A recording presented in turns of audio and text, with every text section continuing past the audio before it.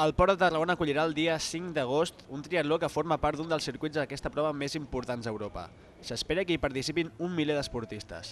Es disputaran diferents modalitats. L'olímpica, que és la més dura i amb les places ja esgotades, l'esprint, supersprint i aquatló.